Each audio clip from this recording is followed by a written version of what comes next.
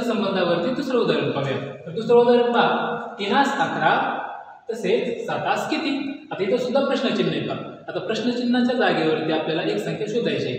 ती संख्या आपल्याला ह्या दिलेल्या चार पर्यायपैकी एक आहे. हेच आपल्याला यामधून काय करायचं शोधायचं आहे पहा. आता आपण यामध्ये सुद्धा एक नियमावली वापरणार आहोत पहा. आता कोणती नियमावली पहा ती? तिला आपण ए नाव देऊया.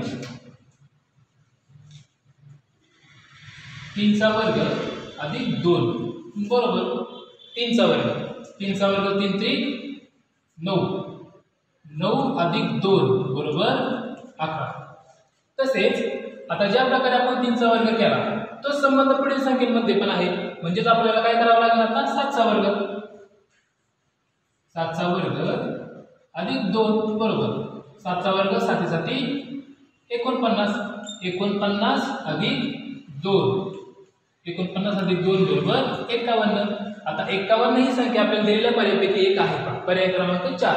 म्हणजेच पर्याय क्रमांक चार हे आपल्या प्रश्नचिन्हाच्या जागेवरती बसणारी संख्या आहे. मग या ठिकाणी पहा आपण काय केलंय? हे तीनचा वर्ग अधिक दोन तीनचा वर्ग नऊ. तीन त्रिक नऊ नऊ अधिक दोन बरोबर अकरा. तसेच सात सातचा वर्ग अधिक दोन सातचा वर्ग एकोणपन्नास एकोणपन्नास अधिक दोन बरोबर एकावन्न. म्हणजेच आपण असं म्हणणार आहोत आता म्हणून तीनास अकरा. तसेच सातास एक्कावन्न धन्यवाद.